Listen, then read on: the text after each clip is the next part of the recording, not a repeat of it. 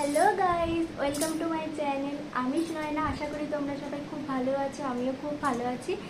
আর সবাইকে বলে দিই অ্যাডভান্স হ্যাপি গণেশ চতুর্থী আর আমার চ্যানেলে নিউ হয়ে থাকলে প্লিজ সাবস্ক্রাইব করে দিও আমার চ্যানেলটাকে আজকে এই লুকটা তোমরা দেখে বুঝতেই পারছ এটা কী লুক হ্যাঁ এটা হলো গণেশ চতুর্থীর লুক কেমন হয়েছে তোমরা কমেন্টে জানিও। আর এই লুকটা দেখতে হলে আমার পুরো ভিডিও দেখতে হবে। তো চলো তোমরা এই ভিডিওটা দেখতে থাকো। আশা করি তোমাদের আমার ভিডিও খুব ভালো লাগে দেখতে। তোমাদের সাপোর্ট খুব খুব খুব দরকার। তো ফার্স্টেই আমি ইউজ করছি টোনার দেন আমি ইউজ করছি পন্সের এই জেল ক্রিমটা দেন ইউজ করলাম প্রাইমার দেন আমি আইব্রোটাকে সেট করে নিচ্ছি, ওপরটাকে ড্র করছি, তারপর নিচেটাকে ড্র করার পর মিডিলে ফিল করলাম, তারপরে আমি আই মেকআপটা করে নেব, তো ফাউন্ডেশন দিচ্ছি ফাউন্ডেশন দিয়ে ভালো করে সেট করে নিচ্ছি দেন আমি ইউজ করছি ব্রাউন কালারটা আউটার কর্নার ইনার কর্নার করে আমি পুরো আইটাকে ফিল করছি।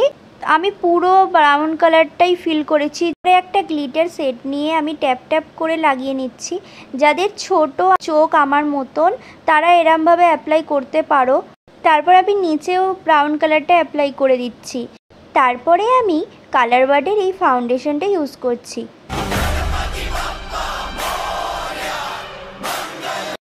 তারপরে আমি ইউজ করছি কনসিলার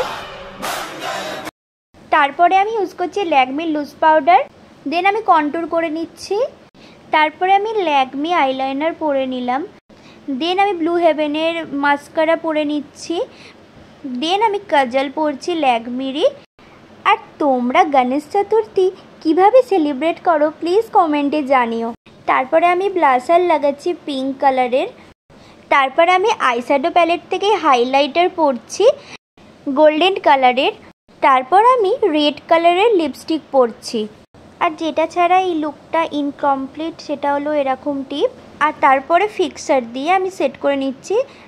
লং হেয়ারে তোমরা কীভাবে গণেশ চতুর্থীতে হেয়ার স্টাইল করবে, এই ভিডিওতে আমি দেখাবো তোমাদের।